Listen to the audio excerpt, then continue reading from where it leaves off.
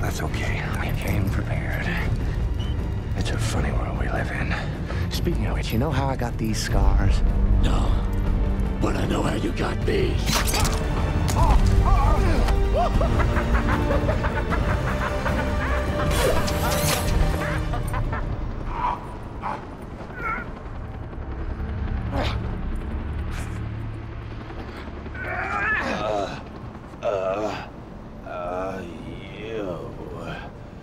You just couldn't let me go, could you? This is what happens when an unstoppable force meets an immovable object.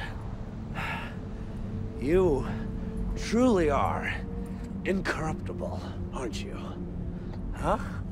You won't kill me out of some misplaced sense of self-righteousness.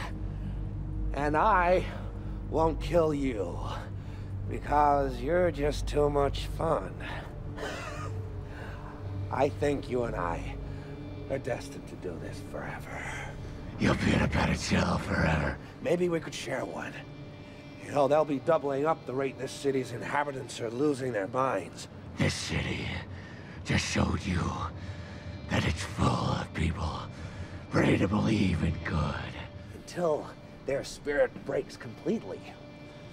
Until they get a good look at the real Harvey Dent. Huh? And all the heroic things he's done. You didn't think I'd risk losing the battle for Gotham's soul in a fistfight with you. No. You need an ace in the hole. Mine's Harvey. What did you do? I took Gotham's White Knight, and I brought him down to our level.